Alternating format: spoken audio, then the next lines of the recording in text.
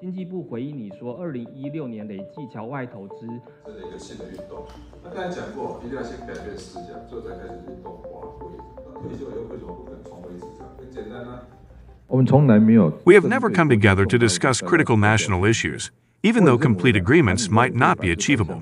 Otherwise, we can just become one party. While disagreements might persist, they could be minimized compared to the past.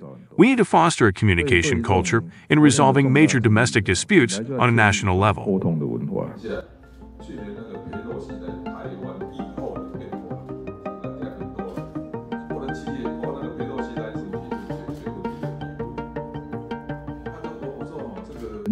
I was told that this year's National Taiwan University's anniversary celebration would be bustling with noise and excitement. It is because there are Chu, Lai Ching-te, and I were all admitted to the university in 1979.